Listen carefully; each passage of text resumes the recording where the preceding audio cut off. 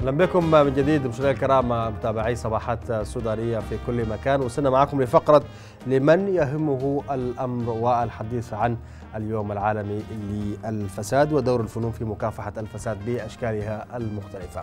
نسعد جدا في هذه المساحة نستضيف الدكتور أح أبو بكر الهادي أحمد عميد كلية الفنون الجميلة والتطبيقية بجامعة السودان للعلوم والتكنولوجيا.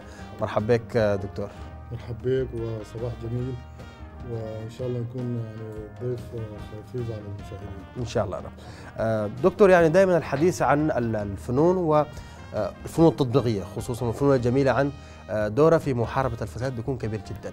لكن في الأيام دي أنتم عندكم ورشة اليوم العالمي لمكافحة الفساد بالتعاون مع الأمم المتحدة وبرنامجها لمكافحة الفساد. كده كلمنا عن التعاون ما بينكم ما بين الأمم المتحدة في إظهار الوجه الآخر من الفساد وابرازه للناس طيب بسم الله الرحمن الفساد لا وجه له إلا واحد طبعا. نعم. بسم الله الرحمن الرحيم. الحقيقة التعاون بيناتنا بين كلية الفنون والبرنامج الأمم المتحدة الانمائي في السودان هو تعاون كبير باعتبار إنه هم عندهم برامج بينفذوها من خلال بعض المؤسسات. ونحن ككليه فنون يعني هم يعني وعوا للمسألة دي ورأوا إنه هم يعني جسم لابد إنه يمروا من خلاله في كثير من من من من, من تعديل المفاهيم. فالتعاون هو بيناتنا منذ فترة طويلة جدا يعني سنتين تقريبا أو ثلاثة سنة بنتعاون تحديدا في في الأيام العالمية المعروفة. وككليه بنقدم دورنا في في في الجزئية بتاعت اليوم العالمي. فاليوم العالمي للفساد أو اليوم الدولي للفساد هو يوم عالمي بيحتفل به جميع العالم ونحن ككلية بنحاول نترجم يعني المفهوم بتاع الفساد ودرءه وكل الرسائل اللي عايزين نوصلها والقيم والمبادئ بنحاول نلخصها في شكل بسيط. اللي هو على مستوى البعدين أو على مستوى الثلاث أبعاد وده في مجال التخصص والدراسة في الكلية. يعني هي أساسا كليه الفنون يعني الفنون هي لغة تخاطب الجميع. وهنا بكون المسألة سهلة جدا في إنه أنت ممكن تصل لكل الشرائح تصل توصل الرسالة يعني عبر رسم بعدين تصل لكل الشرائح بتاعت المجتمع باعتبار إنه الفساد هو يمس كل المستويات وكل الشرائح بتاعت الدولة يعني ويشكل عائق اقتصادي كبير جدا في نمو نعم. الدول وتطورها. الدكتور برضه بدي امشي معك يعني لنقطة أولى ومفصلية مهمة جدا. أبرز الأشياء اللي أنتم حتشتغلوا عليها في في الكلية والورشة دي عشان ما تظهروا أيضا جانب محاربتكم للفساد بمختلف أشكاله الفساد في كل مكان يعني. نعم هو من الجانب التخصصي لعمل الكلية الطلاب الورشة هي تحديدا الآن في قسم التصميم الاضاحي وقسم الجرافيك. والمخرج بتاع الورشة هو يكون عبارة عن معرض يعني بيشترك فيه أكثر من آه 30 طالب. وهؤلاء الطلاب يعني هم تمرسوا في مسألة آه فلسفة آه تحويل النصوص إلى إلى صورة. إلى صورة. وتحويل المفاهيم إذا كانت سالبة أو موجبة إلى صورة. وده تحديدا في مجال تصميم شكل البوستر أو الإعلان. والإعلان هي تقريبا أكثر وسيلة ممكن تصل للمجتمع سواء كان بوسائل التواصل الاجتماعي وكده. لكن القضية الأساسية إنه بقدرة كبيرة جدا وباحترافية عالية جدا هؤلاء الطلاب داخل قسم الجرافيك يترجموا يعني أشكال مختلفة لأنواع الفساد، الفساد هو ممكن يكون موجود في كل المستويات وفي كل ال الإشكال بتاعة العمل. ديل كل واحد بيعبر بالطريقة بتاعته بيعبر بالمفهوم بتاعه بيعبر بالموروث الثقافي والموروث البصري والموروث المنطقة اللي هو يعني بينتمي لها صحيح ممكن نجد أعمال كثيرة جدا في في العالم بتختلف اشكالها وضعابيرها لكن هنا في السودان نحن بنعتمد في إنه هي مسألة غنية جدا لأنه طالبنا هو مغذى بصور بصرية كثيرة جدا. يعني ممكن تساعده في استلهام لإخراج عمل إبداعي في شكل بوستر يعبر عن عن موضوع ضخم جدا.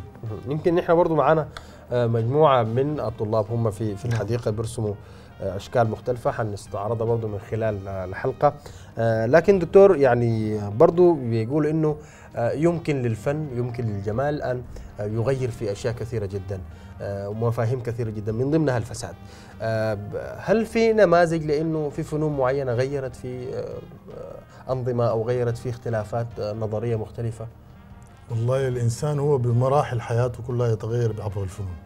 منذ العصر الحجري منذ الإنسان الأول منذ إنسان الكهوف تطوره من خلال رسمه على الجدران ورسمه على الكهوف والتمرحل بتاع الإبداع والفنون في حد ذاته هو يغير في سلوك الإنسان يغير في في في طبيعة الإنسان يؤكد القيم الموروثة يؤكد التاريخ يؤكد الأشياء. فبالتأكيد بلا شك يعني الفنون هي تلعب الدور المهم ودور الرئيس جد الأول في في تغيير كثير جدا من القضايا درء كثير جدا من الكوارث. آه يعني يا إما بأشكال محببة لإنه أنت تكون في في في, في الجانب الآمن أو إنه تكون في الجانب تحذر الجانب ممكن يكون فيه مشكلة. ودي بنلقاه كثير جدا في على مستوى المفاهيم وعلى مستوى العمل ال ال الإنساني. يعني الإنسان في حد ذاته هو يعني بتظهر منه أشياء كثيرة جدا لكن إحنا نحاول نقوم السلوك ونحاول نذكر الإنسان عبر عبر الرسم وعبر التلوين وتحديدا زي ما شايفين الآن على الشاشة يمكن نعم. آه عندنا عديد من النماذج للشباب في الحديقة.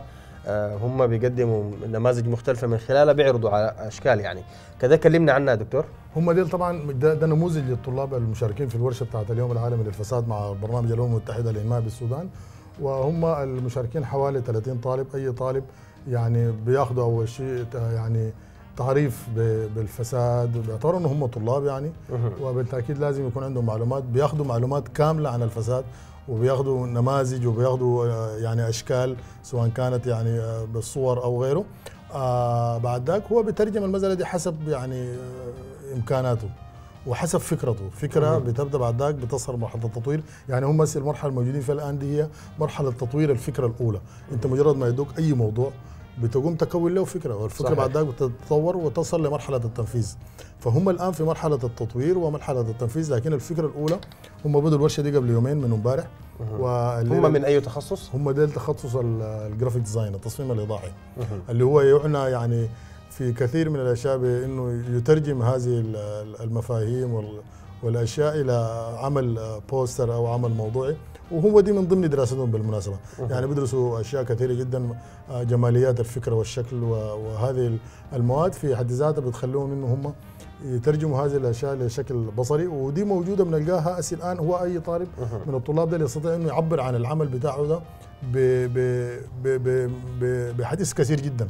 يعني صحيح اللوحة هي بعدين لكن داخل هذه هذا العمل الابداعي في في في رسائل. في في صور في ألوان بتشير لأشكال كثيرة جدا. يعني عندنا مثلا حسان مثلا دي يعني هي في فكرتها الأولى حاولت إنه يعني الفساد ده هو يعني نهايته حتكون يعني مشنقة مشنقة. المشنقة دي قد تكون مثلا حبل. يعني مشنقة بالشكل بتاع الحكم وال والقضاء وكده أو ممكن تكون هي ذاتها الموت لك باعتبار إنه أنت كسبت مال غير شرعي ومال ما حلال وبالتالي حيكون يعني أثر على على أبنائك أثر على نفسك أنت ذات أثر على حياتك. في النهاية نهاية الموت اللي هو المدلول بتاع الحبل هو الموت. ولكن العقاب هنا في في مسألة إنه خطورة إنه المسألة دي تؤدي إلى القضاء والموت وكذا. ده نموذج يعني. وبعد ذاك هي دي بتعبر بها داخل داخل هذه الحبال المشنقه هذه هي هي تعبر يعني عن عن عن إشكال الفساد الموجود يعني. طيب الطالب لما تكون عنده الفكرة مثلا زي دي في محاربة قضية معينة أو رسم صورة لها بشكل مختلف. نعم. أو يقدر من خلاله يوصل رسالته. آه أنتم كخبراء في في المجال وأنت برضه كعميد يعني الكلية أبرز يمكن الملاحظات بتكون شنو يعني؟ لو قدمتوا نصائح لو قدمتوا إفادات أو إرشادات. والله هي ال ال بعد ذاك أنت بتشوف أنت عايز الموضوع اللي أنت بترسم فيه أو بتصمم فيه عايز تستهدف به منه مساله الفساد هي تستهدف الجميع.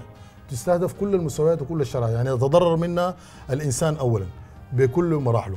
فهنا أنت بقدر الإمكان بتحاول توصل رسالة إنه يفهم الجميع.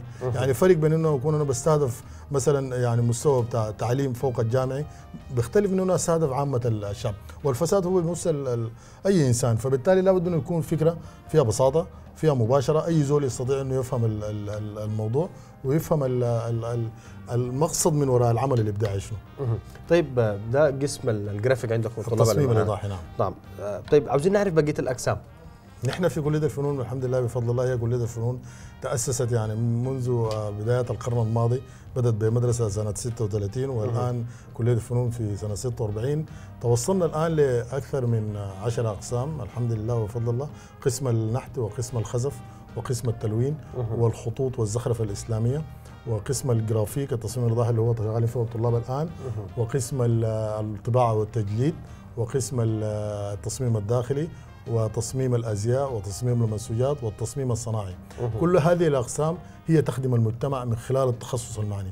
يعني ممكن عادي مثلا نشوف واحد من الاقسام دي يعالج لنا قضية يحل مشكلة صناعية يحل مشكلة بتاعت آه يعني آه مثلا جمالية يضفي على المجتمع يبرز العادات والتقاليد والثقافات والمسكن والملبس وكل الأشياء السودانية نعيد صياغتها بشكل جيد. ما في قسم التصميم الاضاءي تحديدا نحن اخترنا القسم باعتبار إنه هنا الموضوع ممكن يكون هو من من من صميم تخصص عمل التصميم الإيضاحي اللي هو ترجمة مثل هذه المفاهيم سواء كان على شكل كاريكاتير أيضا لهم علاقة. بالكاريكاتير. هو طبعا هي يعني هي يعني ممكن الآن إحنا النموذج ده نشوف هو يعبر من خلال رسم الكاريكاتير اللي هو الرسم المباشر للشخوص وبيعبر فيه تعبير مباشر. يعني فكرة طورها بعد ذاك حاول يعبر لنا عن إنه دي رؤيته للفساد كطالب. طيب. هي مسألة متروكة تماما له ولكن ال ال الأستاذ أو المشرفين بيكونوا هم guidelines أو يعني مشرفين على على على. تنفيذ العمل. طيب استخدام الألوان والإيحاءات الم- الموجودة فيها. نعم. إلى أي مدى برضه ممكن تو- توصل الرسالة؟ هي توصيل الرسالة وباستخدام الألوان مسألة نسبية. يعني قد يرى مثلا هذا الطالب إنه هو استخدامه لهذا اللون يمثل للخطوره يمثل للون الأحمر مثلا يمثل مسألة نسبية. يعني تختلف عن كثير من الناس. لكن يعني بحاول بقدر الإمكان إنه يجد الألوان اللي ممكن تلائم الموضوع وتتناسب معه. يعني مثلا هذا يعني رسخ في ذهننا إنه مثلا السارق دائما يكون يلبس نظارة سوداء منذ طفولة أو منذ نعومه اظافرنا فبالتالي هو الاختفاء بيمثل أو الإخفاء. الاختفاء أو يعني إنه ما يكون مثلا يعني في حالة من حالات ال- عدم الوضوح. فهو بيرى إنه هو مثلا ده يعني ممكن يمثل له آه، الزول ممكن يكون فاسد اداريا أو يمثل يعني فسد يعني هو الزول الفاسد عبر عنه بهذا الشكل. باللون. نعم. في حين إنه ممكن حاليا والله الحرام ممكن يسرق عز النهار ما محتاج له ظلمه كده ولا حتة. تختلف أيوه تختلف مع مع التكنولوجيا دي ممكن تحصل أي. صحيح صحيح. طيب شايفين برضو الآن يمكن رسمة قدامنا هي على وشك الاكتمال. آه، لسه ما وضحت مع علمه نعم. هو زي ما ذكرت أنا هم يعني كان أخذوا آه تنوير عن اليوم عن الفساد وعن دوره بواسطة الناس ال- ال- البرنامج بتاع الأمم المتحدة للمائدة. وكان حديثي بإسهاب. ال- المرحلة دي كان الطلاب هم بيجمع في أفكار. يعني يعني ما نراه الآن هو آه قبله كان في آه نماذج وسكتشات صغيرة كثيرة جدا حتى يصل لهذا المستوى. والآن هو في مرحلة التنفيذ. يعني العمل الموجود قدامه هو عنده ورقة صغيرة أساسا عمل فيها تجارب وعمل فيها أعماله وبقى ينفذ فيه. نحن حنشهد الأعمال دي كلها إن شاء الله. اليوم في نهاية اليوم في في في في تدشين المعرض. هم مجموعة من الطلاب. يعني حنشاهد أكثر من من 30 عمل. حنعمل لهم معرض إن شاء الله و مختص بالفساد أو لمكافحة تحديدا الفساد. تحديدا في في موضوع الوش. اليوم العالمي للفساد. نعم. طيب دكتور يعني برضو إلى أي مدى ممكن أنتم حاسين بإنه فعلا ال- الفنون وال والأشياء الجميلة اللي أنتم بتعملوا فيها دي ممكن هي بجد تحارب الفنون أو تحارب ال- الفساد؟ ال- ال- الفنون هي في صورة عامة هي المخرج الرئيسي لكثير جدا من الأزمات أنت بواسطة بوستر تستطيع أنك تغير أمة وبواسطة بوستر تستطيع أنك أنت ت- ت- تغير مفهوم. تغير مفهومه تماما. يعني على سبيل المثال الأمراض ممكن تعمل بوستر عن مرض محدد تنفر الناس عن المرض ده. الواحد لما يشوف البوستر ده طوالي يجيه احساس انه المسألة دي فيها خطورة وفيها هلاك وفيها موت وغيره. وممكن تعمل بوستر بنفس الم... بنفس المرض لكن توري الجانب اللي ممكن تكون فيه انت آمن وسليم من إذا تجنبت هذا المرض. فإذا بالتالي أنت بتخاطب ال... ال... ال... الإنسان في في الفكر بتاعه. ودي اسمى اسمى أسمى القيم بتاعت ال- ال- العلوم. الفنون هي آه، بالتأكيد يعني آه، نستطيع إنه من خلالها يعني تغير كثير من الأشياء إذا كان الشخص هو فاسد على في جميع المستويات. ممكن بوستر واحد يهز نفسه. على سبيل المثال موجود عندنا في بعض ال- ال- الأعمال إنه مثلا آه، شخص أشاروا له لأنه هو فاسد وجابوا جزء من آه، بيته في المنزل إنه مثلا آه، أسرته متهتكه أبنائه يعني عندهم مشاكل. دي ال ال ال ال النتيجة بتاعت الفساد. فأي فاسد يرى هذا البوستر مثلا طوالي بيذكر أبنائه وأفتكر إنه أقيم حاجة عند الإنسان هي هي الأسرة بتاعته. وحيفكر يعني على الأقل إذا أنت مثلا ما غيرته بنسبة 100% لكن وضعت ال- الأمل في إنه أنت هو مستقبلا ممكن يتغير من خلال العمل الابداعي طيب بنسمع إنه صورة بتغني عن ألف كلمة. نعم. لكن أحيانا ممكن تكون صورة مركبة مع مع كلمه مع كلمات. نعم. الأشياء دي بي بي عندكم في في فن الجرافيك وفن الكاريكاتير آه، إلى أي مدى برضه عندها تأثير؟ المزاوجة ما بين ال ال ال الكلمة كنص والصورة. طبعا هي إذا كانت الصورة أو العمل الابداعي بدون كلمة أو بدون نص بيكون أقوى. ليه؟ لأنه أساسا أنت بتكون وصلت يعني الحاجة اللي أنت عايز تقولها عبر الرسمة. لكن بتأكد عليها بواسطة النص أو بواسطة كلمة ال- ممكن تكون البوستر أو الكلمة. يعني بتأكد عليه إنه مثلا الموضوع من من من العمل الإبداعي ده هو المعني به والكلمة. آه هي ترجمة في النهاية. زي يعني ما شايفين يمكن الآن. نعم. أي نعم. هي مثلا استغلت هنا أو استغل الكتابه في إنه يعبر عن عن الفساد هي ما ظهر لسه. لسه ما كمل ما أيوة. ظهر مهم. مكتب التوظيف. باعتبار إنه هنا ممكن يكون فساد إداري في مسألة التوظيف. وهو عمل عمل إبداعي على ما أعتقد يشير لإنه آه، يعني آه، في فساد بيحصل مثلا ممكن يكون في مكتب التوظيف ده أو لا يتج... لا لا لا يسلك ال- المسلك الصحيح وال والأمانة والشفافية في مسألة ال- التوظيف فهو أكد هنا بأعتبار إنه يعني ممكن يكون يعني وضح المسألة أكثر ب... من خلال الخط وال... وال... والرسم آه،. عفوا من خلال ال... الكلمة لكن يستطيع انه يعبر عن المسألة دي بيكون أكثر احترافية إذا عبر عنها بدون ما يرفق لنا بكلمة أو عبارة تشرح ما ما ما يعنيه، يعني الآن لو جينا تحدثنا عن الفساد من خلال يعني كتابة بنتحدث عنه مثلا ممكن الناس أي زول يتحدث بمستويات. يعني مثلا 10 صفحات 20 صفحة كتاب ثلاثة كتب أربع كتب. لكن هو الآن بيختزل كل الأشياء دي في عمل إبداعي واحد اللي هو ذو بعدين عرض وارتفاع. طيب آه، دكتور برضو يعني في آه، شيء مهم جدا يعني نحن شايفين الشباب هو الآن شغالين برضو ما ما ما عرفنا بأساميهم. فيا ريت لو عرفتنا بأسامي الشباب. آه، هم طبعا طلاب نحن الحمد لله في كلية الفنون عندنا أكثر من 630 طالب. أنا على المستوى الشخصي أعرفهم معرفة شديده جدا. وهم طلاب الآن فيهم طالب في سنة ثالثة وعندنا الطالبتين ديل في سنة رابعة خريجين. في قسم الجرافيك.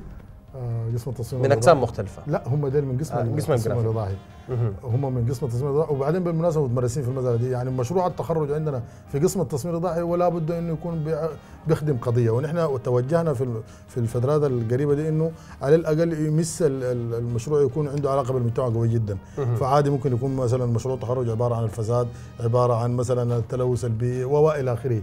لكن هم عندهم خبرات في المساله دي باعتبار أو بحكم تخصصهم الدقيق في في قسم الجرافيك أو قسم التصميم الاضاءي نحن يعني بحسب المعلومات المذكورة عندنا إنه اعتمدت الجمعية العامة في في ال 21 من تشرين الأول أكتوبر العام 23 اتفاقية الأمم المتحدة لمكافحة الفساد وطالبت آه، إلى الأمين العام أن يك- يكلف مكتب الأمم المتحدة المعني بالمخدرات والجريمة بتولي مهام أمانة مؤتمر الدول الأطراف في الاتفاقية. القرار الرقم 4.58 وعينت الجمعية العامة أيضا يوم 9 كانون الأول ديسمبر آه، بوصفه اليوم الدولي لمكافحة الفساد من أجل إذكاء الوعي بمشكلة الفساد وبدور الاتفاقيه في مكافحته ومنعه.